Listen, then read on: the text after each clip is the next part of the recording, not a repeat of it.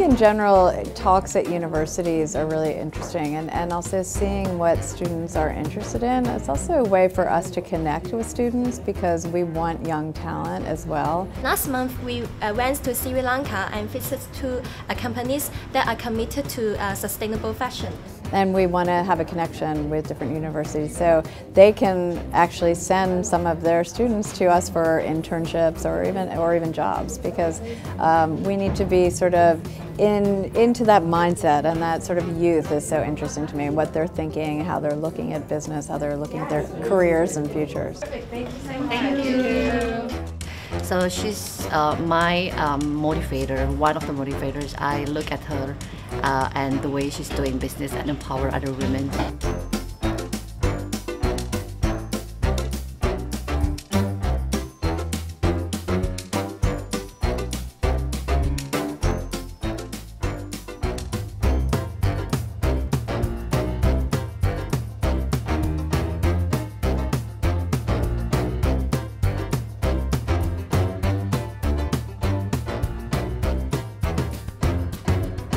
I don't think I've I've given up any part of being a mom. Um, I've been really diligent about that, and that's something that was very important to me. But if you are good at time management and you have an amazing team and support system, um, I think it's doable.